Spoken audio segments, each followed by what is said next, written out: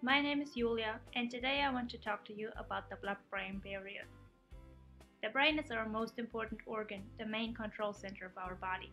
It regulates all processes in our bodies.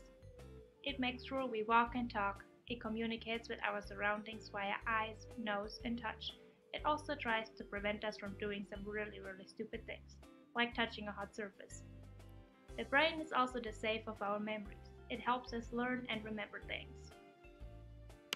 Because our brain is so important, we need to make sure to keep it safe and protected. That is the job of the blood-brain barrier. The blood-brain barrier is like a wall between the brain and our blood that distributes things throughout our bodies. In the rest of our body, the blood vessels are like pipes with little windows in the walls. That is important to make sure that all organs have access to sugar and amino acids. But why are they so important? Sugar is the fuel of our body. Our cells have little power plants that convert sugar into energy. Amino acids are the building blocks of the machinery in our cells. They make sure that every function can be fully executed. But what about the brain? It needs those things as well. The blood-brain barrier makes sure that the blood vessels in the brain are tightly sealed so nothing can leak out.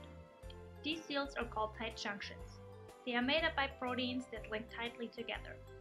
While this is really effective at keeping bad things out of the brain, it also prevents the good stuff from coming in. The blood-brain barrier has a shuttle system for things that are necessary for brain function, like sugar and amino acids. These shuttles are called uptake transporters. This is not the only transport system at the blood-brain barrier. Additionally, there are efflux transporters. Your job is to make sure that everything that's snuck past or squeezed through the seals is transported straight back out of the brain. They act as the bouncers of the blood-brain barrier. If you're not on the approved list, you don't get past them. This is a really important part of the blood-brain barrier, but it also comes with some problems. Many medications aren't on the approved list either. Most of the time that's a good thing. You don't want every medication floating around in your brain, do you? But if your brain is sick, the medications cannot get into the brain and they are not as effective in healing. Researchers have been busy for many years to figure out what to do about that. It's not an easy task, especially because each disease has its own issues. Many diseases themselves cause changes at the blood-brain barrier. In some diseases, the number of efflux transporters goes up, so even less of the medication can get into the brain. Researchers are trying to find ways to inactivate the transporters to make sure the medications can reach their targets.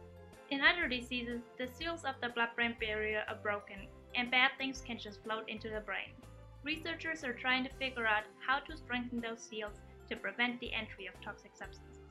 We still have a long way to go and a lot of things to figure out and learn, but we're on a steady path, gaining more knowledge every single day.